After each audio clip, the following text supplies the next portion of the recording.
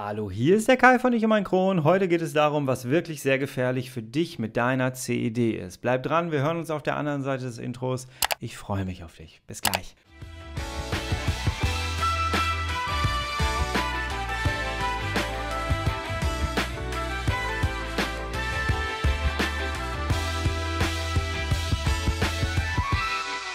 Herzlich willkommen zu einer weiteren Ausgabe von Ich und mein Kron, dein Kronpott. Hi, Tag. Ich hoffe, es geht dir gut. Ich hoffe, du bist schubfrei und ich hoffe, du kannst diese Folge, wo auch immer du gerade bist, entspannt hören. Denn es ist ja das Pfingstwochenende und ich hoffe, ähm, ja, dass du einfach jetzt entspannt irgendwo sitzt oder läufst, wo immer du gerade bist. Äh, lass uns ein bisschen gemeinsam Zeit miteinander verbringen. Hi. Ein herzliches Hallo und herzlich willkommen auch an die Menschen, die neu zu diesem Podcast gefunden haben. Hallo, ich bin Kai. Ähm, viele sind von der letzten Folge hier rübergekommen, von Priscilla auch. Ähm, ja, inspiriert worden, hier doch mit teilzunehmen, seid herzlich willkommen. Ihr könnt jederzeit gerne mal auf meine Homepage gehen, www.ichummeinkron.de. Die wird immer mal wieder aktualisiert, da findet ganz viel statt. Ihr seid quasi am Anfang äh, von Ich um mein Kron mit dabei. Ähm, und was auch immer wieder ganz gut ist, ist, wenn ihr mir auf Instagram folgen würdet, denn äh, da heiße ich Mein Kron. Ähm, den Link dazu findet ihr auch unter dieser Folge hier und auch da wird in der nächsten Zeit einiges passieren und da haben wir die Chance, einfach miteinander auch zu interagieren und da bist du am nächsten auch mit äh, hier bei diesem Projekt mit dran. Ja. So, heute möchte ich ganz gerne mit euch über etwas sprechen, habe ich ja gerade schon angeteasert, was wirklich sehr gefährlich ist für dich mit deiner CED. Ähm, das ist ein Gedanke, den möchte ich jetzt ausführlich mal mit dir besprechen, denn durch meinen Krankheitsverlauf ist es ja so, dass ich heute viel mehr Wissen habe als noch vor ein bis zwei Jahren. Und zwar weiß ich heute, was gefährlicher ist oder was das Gefährlichste an einer CED ist. Und ich sage bewusst CED, denn es trifft auf Morbus Crohn genauso zu wie auf Colitis ulcerosa. Weißt du, was das Gefährlichste an einer CED ist? Ich sag's dir, das ist die Individualität. Die Individualität führt nämlich in ganz, ganz vielen Fällen zur Passivität, zur Aufgabe, zum Kampf gegen Windmühlen, der so empfunden wird.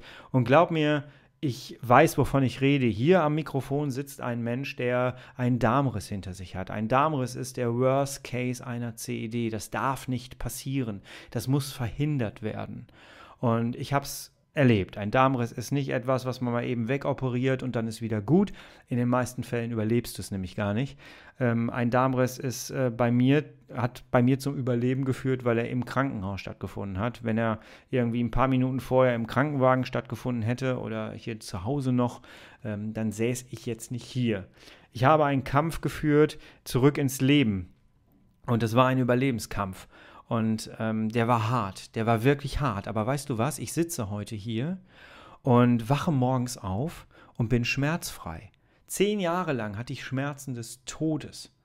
Und ich habe einen, einen Schmerzverlauf gehabt, ohne zu wissen, was ich eigentlich habe. Heute wache ich auf, kann aufstehen und bin schmerzfrei. Ich fühle mich nicht immer sehr wohl und ich habe da schon mal ein paar Folgen zu gemacht. Morgens ist immer eine schwierige Zeit, aber ich glaube, das kennen viele mit CED. Ähm, aber ich bin schmerzfrei. Ich habe keine Krämpfe. Ich äh, krümme mich nicht im Bett und brauche keine Wärmflasche. Ich brauche keine Schmerztabletten mehr momentan. Das ist ein Ergebnis von harter Arbeit und ich habe heute mehr Wissen als noch vor ein bis zwei Jahren. Und dieses Wissen möchte ich gerne mit euch teilen. Und deswegen lass uns mal in den Gedanken reingehen, warum die Individualität das Gefährlichste an einer CED ist. Denn zwischen Diagnose Morbus Crohn bei mir und dem Darmriss liegen drei Wochen. Und ich werde sehr, sehr oft gefragt, sag mal, hätte man in den drei Wochen nicht irgendetwas anders machen können, dass du den Darmriss nicht gehabt hättest, dass man den verhindern hätte können? Und scheiße, ja, hätte man. Hätte man. Mit mehr Wissen, wenn ich mehr eingestanden hätte für mich und meinen Körper, wenn ich mehr eingefordert hätte, dann hätte ich den wahrscheinlich verhindern können. Ja. Warum mich die Individualität dazu gebracht hat, kann ich auch erzählen. Denn als ich meine Kapselendoskopie hinter mir hatte, die Ergebnisse waren ja da und die Ergebnisse waren sehr eindeutig. Zwei Ärzte haben mir eindeutig bestätigt, ja, das ist auf jeden Fall Morbus Crohn und sieht böse aus. Ich habe zwei Fragen gestellt in der Zeit. die erste Frage, was darf ich nun essen? Die zweite Frage, was machen wir gegen die Schmerzen? Ja, die dritte Frage war, glaube ich, was, wie baue ich wieder Gewicht auf? Aber äh, die beiden Fragen wurden beantwortet mit individuellen Antworten. Und zwar immer das Gleiche. Was darf ich nun essen? Das kann man so pauschal nicht sagen, denn äh, das kommt individuell drauf an. Jeder verträgt etwas unterschiedlich. Und dein Darm wird dir schon sagen, was er verträgt und was er nicht verträgt. Hat mich fast ins Grab gebracht, denn Spargel hat er nicht vertragen. Ich hatte Stenosen schon drin und auch noch eine Kapsel drin stecken, die nicht mehr rausgekommen ist, was man auch nicht erkannt hat.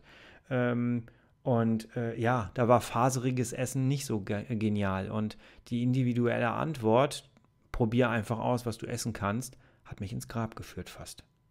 Also, ich bin dran vorbeigeschoben worden. Was machen wir gegen die Schmerzen? Ich habe nämlich unfassbare Schmerzen.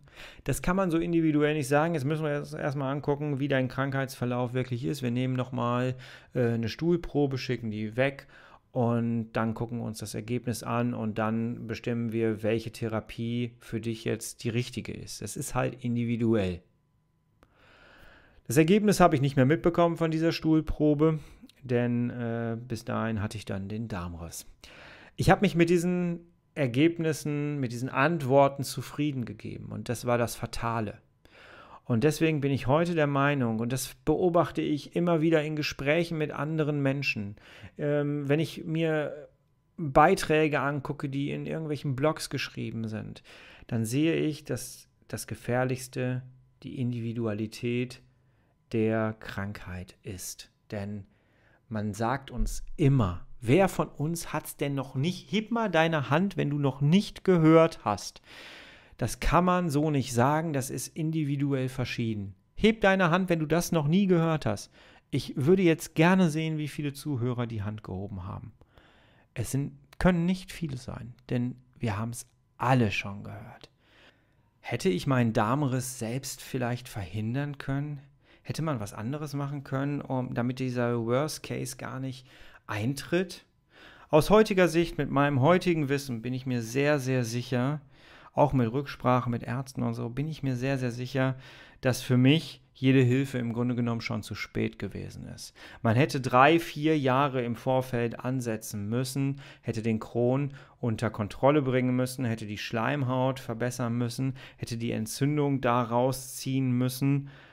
Das hat man nicht gemacht und deswegen sind da ganz über die Jahre hinweg ganz viele Schwierigkeiten noch dazugekommen und deswegen war dem eigentlich nicht mehr zu helfen und ich glaube, den Darmriss wirklich verhindern können, ne, hätten wir nicht hingekriegt. Es sei denn, man hätte vielleicht einfach vorher schon den Stoma angelegt und hätte dann eine große Darmsanierung gemacht, operativ.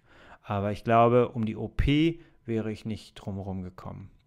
Ja, und was weiß der Kai heute, was er vielleicht drei, vier Jahre vor dem Darmriss hätte machen sollen? Ganz einfach. Heute weiß ich, dass man mit nur vier Dingen innerhalb von zwei Wochen eine unfassbare Menge bewirken kann. Vier Dinge. Zink, Vitamin D, Probiotika, Weizenverzicht. Das zwei Wochen lang und du hast wirklich eine großartige Veränderung in deinem Darm bewirkt. Es ist eigentlich einfach und das ist jetzt nicht etwas, was ich mir zusammengesucht habe, sondern es ist etwas, was Neurologen und Gastroenterologen auch so sagen würden und mir zumindest gesagt haben. Und du veränderst damit schon sehr, sehr viel. Ich würde mir selber in der Vergangenheit auf jeden Fall noch Cortison mit reingeben, weil ich war schon sehr, ich war so weit, dass mein Körper sich wirklich richtig selber bekämpft hat. Der hat die eigene Darmschleimhaut abgestoßen. So weit war ich schon und der kam damit einfach nicht klar. Ich hatte einen Gallensyndromverlust, Gallenflüssigkeitsverlust. So. Ähm, und ja, es ging meinem Körper richtig dreckig. Ja, da antientzündlich reinzugehen, den Darm zu entlasten, äh, vielleicht unter Hilfe von Cortison mit reinzugehen. Ähm, ja, das würde ich heute machen. So, und was ist jetzt die Lösung für die Individualität und für das Gefährliche? Das ist das, warum ich diesen Podcast hier mache. Wir müssen dahin kommen, dass wir nicht die Verantwortung, und das ist, tut wirklich weh, aber frag dich, ob du es machst dass wir die Verantwortung nicht weggeben an den Arzt, Ich habe das gemacht. Was darf ich nun essen? Was machen wir gegen die Schmerzen? Das hätte ich mir selber beantworten können, indem ich einfach mal auf meinen Körper gehört hätte und ihn gefragt hätte, was brauchst du jetzt? Dann hätte ich die Antworten alle in mir gehabt. Ich hatte aber gar keine Verbindung mit meinem eigenen Körper. Ich habe nie gelernt, auf ihn zu hören, die Zeichen zu deuten. Symptome waren anstrengend, waren nervig, die habe ich weggeschoben. Damit wollte ich mich nicht auseinandersetzen. Das passte gerade nicht in meinen Terminkalender. Ja, ich hatte zehn Beratungsgespräche an einem Tag. Da konnte ich mich nicht mit mir selber noch auseinandersetzen und mich selber beraten. Du merkst es, ne? Die Individualität dass wir keine gezielten Antworten kriegen. Ich habe sehr schnell rausgekriegt, dass Ärzte mir immer ausweichend geantwortet haben, auch im Krankenhaus, weil sie sich nicht festlegen wollen, damit du nicht hinterher sagst, äh, ja, der hat aber gesagt so und so. Und ich kann das sogar nachvollziehen, dass Ärzte das nie wirklich konkret sagen. Wir wollen immer konkrete Antworten, konkrete Hilfspläne haben von Ärzten, die sie uns nicht geben können.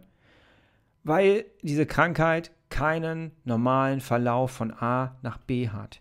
Diese Krankheit ist einfach unglaublich davon abhängig, was für einen Lebensstil du hast, was für einen Stress du hast, was du für einen Körper hast, was du für eine Ernährung nimmst. Sie ist von dir abhängig. Und das macht es so unfassbar anstrengend für uns alle. Und so viele Menschen haben das Gefühl, sie kämpfen mit ihrer CED gegen Windmühlen. Sie machen und tun, aber es passiert nichts. Was können wir jetzt tun? Wir sind gefordert. Wir sind gefordert. Ich bin mittlerweile so weit, dass ich der Meinung bin, dass wir alle die Chance haben, besser mit dieser Krankheit zu leben. Aber wir müssen für uns unbequeme Antworten finden. Unbequeme Antworten finden auf die Fragen, kann ich noch das essen, was ich bisher gegessen habe? Nehme ich mir ausreichend Zeiten, um Pause zu machen? Ist mein Leben so gestrickt, dass es auf meine Symptome passt? Was muss ich verändern in meinem Leben, damit ich gut mit dieser Erkrankung leben kann? Und glaub mir, diese Antworten sind richtig schmerzhaft, die tun weh.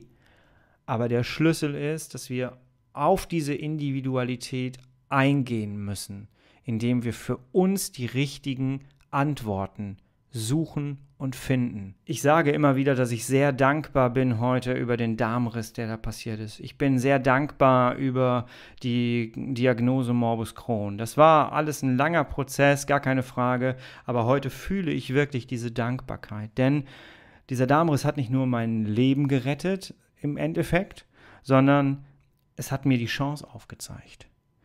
Ich sehe heute, und da bin ich fest von überzeugt, und deswegen verkaufe ich das hier auch so, ich bin fest davon überzeugt, dass unsere CID eine Chance ist.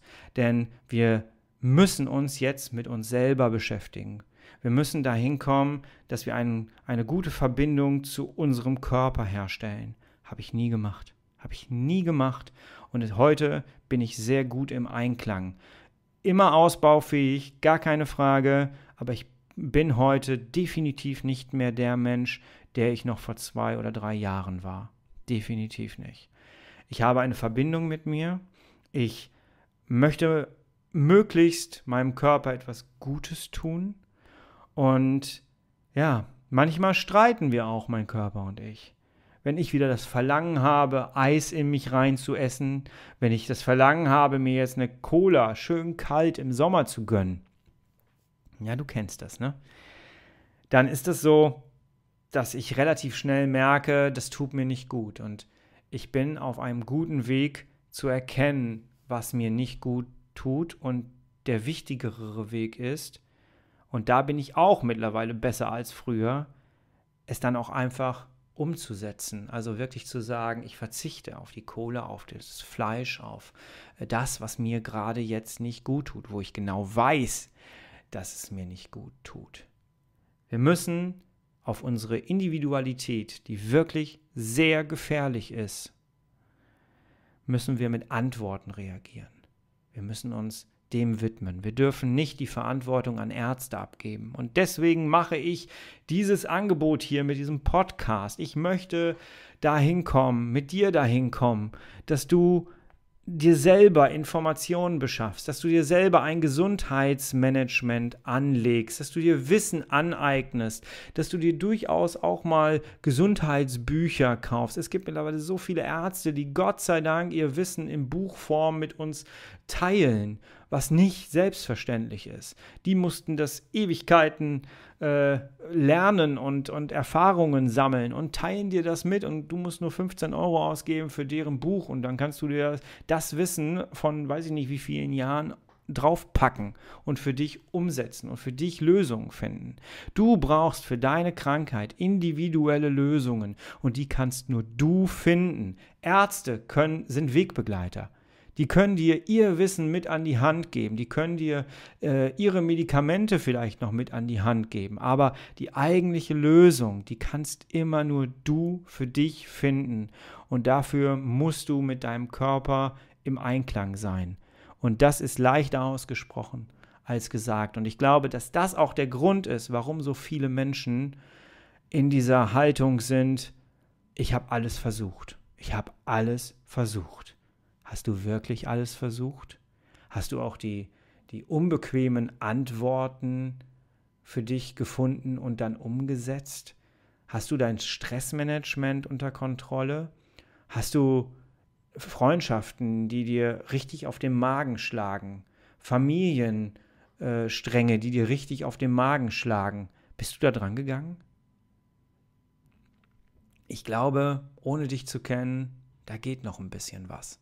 Und ich möchte dich einfach gerne ermutigen, geh mit dir ins Gespräch, packe dir Wissen drauf. Und ich möchte dich bitten, nimm deine eigene Verantwortung jetzt in die Hand für dich und deine CID und gehe die unbequemen Fragen an, damit du eben nicht in den Strudel reinkommst. Es ist ja alles individuell, das ist diese individuelle Suppe.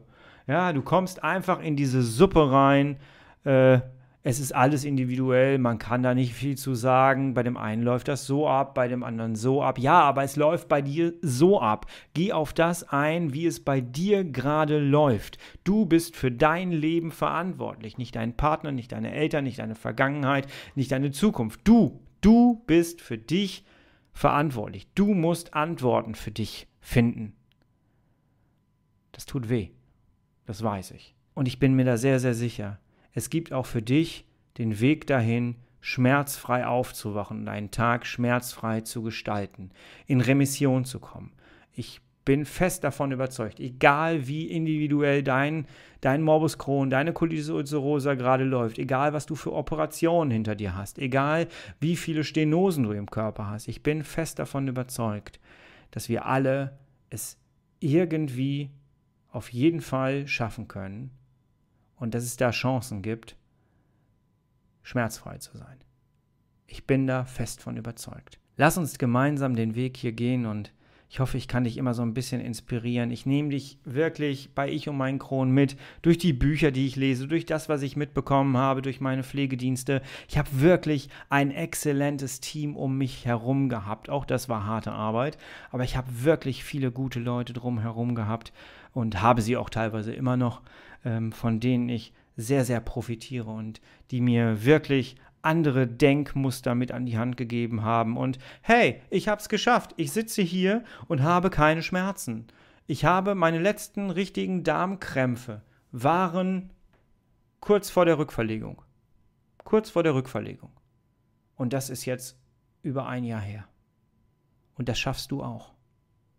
Nicht von heute auf morgen, nicht mit einfachen Antworten, aber du musst es angehen. Und ich möchte gerne, dass du es angehst. Ich hoffe, diese Folge hat dir trotz dieser vielleicht unangenehmen Sachen, Dinge äh, trotzdem gefallen und vielleicht konntest du für dich ein bisschen was rausziehen. Ich bin kein Freund davon, immer alles schön zu reden, immer hier, oh, alles toll, alles super, äh, sondern ich bin ein Freund davon, da kommt vielleicht auch der systemische Coach raus bei mir, ähm, der unangenehme Dinge gerne anspricht und einfach mal auf den Tisch legt. Und ähm, vielleicht musst du diese Folge jetzt auch einmal erstmal sacken lassen und ich hoffe, ich konnte bei dir vielleicht einen kleinen Funken rüberbringen und du kommst vielleicht für dich ins Handeln und denkst vielleicht gerade über irgendetwas anders nach. Es würde mich sehr freuen und lass es mich auch gerne gerne wissen. Ja, ja, gerne wissen. Ich bringe einmal die Woche bewusst eine Folge raus, weil dann hat man auch mal eine Woche Zeit, vielleicht Dinge sacken zu lassen. Ja, ich würde sagen, herzlichen Dank für das Zuhören hier und komm bitte für dich ins Handeln. Ich hoffe, wir kommen alle nächste Woche hier wieder zusammen. Nächste Woche 5 Uhr auf allen Podcast-Plattformen, die du kennst und auf www. Ich und mein Kron und folg mir gerne auf Instagram. Ich freue mich wieder auf dich. Wir hören uns, du, ich und mein Kron. Bis nächste Woche. Bleib schubfrei. Ciao.